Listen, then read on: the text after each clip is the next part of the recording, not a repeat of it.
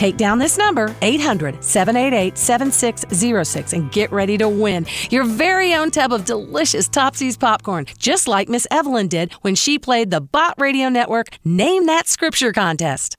Absolutely love Topsy's popcorn. She said, if you're the third caller, you could win some Topsy's popcorn. So I ran out of the kitchen to the Bible and I found it and I hurried and called the number. I could I had the right scripture. She won, and you.